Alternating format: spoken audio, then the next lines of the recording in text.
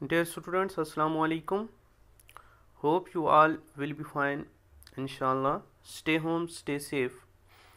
Start with slogan अपना school अपना बच्चा अपना टीचर मैं Mushtaq Abbasi teacher girls middle school Chitrakot करना जोन छामकोट से डेट आज उनतीस पाँच दो हज़ार बीस जो हमारी क्लास है थर्ड इसका सब्जेक्ट ईवीएस है और टॉपिक जो है ए हाउस लाइक दिस इस टॉपिक को आप अपनी बुक के पेज नंबर 84 टू 90 पर देखेंगे। इसको आज हमने इसके मेन पॉइंट्स निकाले हैं। उसको हम पढ़ेंगे। Dear students in this chapter इस जो सबक है इसमें the students will come to know about the need of diverse of houses बच्चे जानने की कोशिश कर रहे हैं कि किस तरह मुख्तलिफ़ किस्म के घर मुख्तलिफ़ जगहों पे होते हैं। नसीम एक बच्चा है, बहुपिन है, चमेली है मिटाली है, अनुज है एंड कंशीराम। ये एक ग्रुप है बच्चों का। Represents students group from different state. ये मुख्तलिफ़ हिंदुस्तान की मुख्तलिफ़ रियासतों से आए हैं of India. In a camp held in Srinagar. Srinagar में इन्होंने एक कैंप लगाया है। The students introduce themselves and spoke about their houses ये खुद को इंट्रोड्यूस कर रहे हैं और अपने जो घर हैं, इनकी स्टेट्स में जहाँ जहाँ पे घर इनके होते हैं उनको इंट्रोड्यूस इंट्रोडक्शन दे रहे हैं उनका। The discussion went like this among students of different states मुख्तलिफ़ जो रियासतों से बच्चे आए हैं, वो इस तरह इस डिस्कशन कर रहे हैं। एक बच्चा है आसाम से। आसाम एक स्टेट है, जिसका नाम है Bhupen who represents his group of students from Molan Molan Assam एक जगह है। मोलन एक जगह है आसाम से।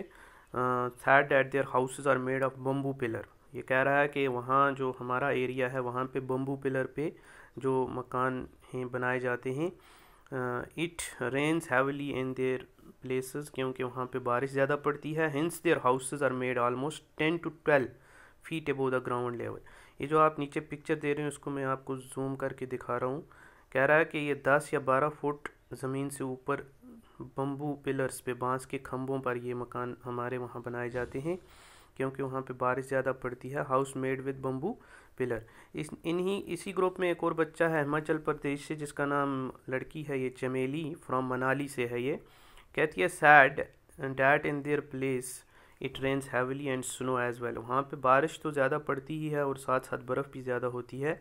क्यों? ये it is a hilly area their house are made of stone and wood ये कह रही है कि हमारा जो हाउसेस वहाँ पे हैं वो पत्थरों और लकड़ से बनाए जाते हैं। यहाँ पे जूम करके मैं आपको दिखा रहा हूँ। ये नीचे हाउस देख पा रहे हैं आप। House made with stone and क्योंकि बर्फ़बारी वगैरह से बारिश से या ठंड से बचने के लिए ऐसे घर वहाँ पे बनाए जाते हैं। उसके बाद एक और स्टूडेंट है दिल्ली से। दो स्टूडेंट से Metali and Anuj have come from Delhi they showed high buildings of Delhi ये कह रहे हैं कि हमारी जो दिल्ली है स्टेट इसमें बड़ी बड़ी multi storeyed building tall houses जिन्हें कहते हैं, बनाए जाते हैं। People live in such tall houses ये इस किस्म के फ्लैट टाइप के हाउसेज होते हैं टॉल हाउसेज इन्हीं के साथ एक और बच्चा है राजस्थान से। Kanshiram from Rajasthan said that there is a very scarce rainfall in Rajasthan ये कह रहा है, बारिश बहुत कम होती है राजस्थान में it is very hot too ये बहुत गर्म जगह है। They Leo in mud houses ये कह रहा है वहाँ पे लोग जो हैं मिट्टी के बनाए हुए घरों में रहते हैं with roofs of thorny bushes जो झाड़ियाँ वगैरह या घास की जिनकी छतें वगैरह होती हैं मैं आपको जूम करके दिखा रहा हूँ, यहाँ पे एक घर बना है, ये देखो नीचे से इसका स्ट्रक्चर बनाया है, मट्टी का और ऊपर से इसकी घास की छत है, यहीं पे इसी के साइड एक और ये घर बना है, इसकी एग्जांपल है, ये मड हाउसेस हैं made with thorny bush roof जिनकी छत घास की होती है। In same way, in the same way way all the group spokes about their houses students came to know that the type of houses depends on the climatic climate condition of area of the area ये कह रहे हैं, जिस area में मौसमी हालात जैसे होते हैं, वैसे ही घर वहाँ पर बनाए जाते हैं। Hence diverse of houses exist in different area of our country और मुख्तलफ़ घर हमारी हमारी जो कंट्री है, इसमें मुख्तलिफ़ एरिया हैं, जिनमें मुख्तलिफ़ किस्म के घर, किस्म किस्म के घर बनाए जाते हैं। The material the material user for making the houses also vary from place to place और जो मटीरियल होता है इन घरों में, वो भी जगह, हर जगह मुख्तलफ इस्तेमाल होता है। तो ये चैप्टर जो है, इनके टाइप्स ऑफ़ हाउसेस भी इस चैप्टर को हम नाम दे सकते हैं।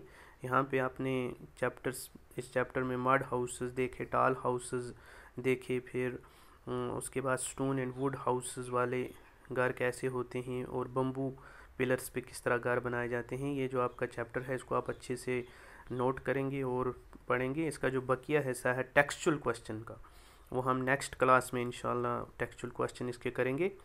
बाकी वसलाम good luck how have a nice day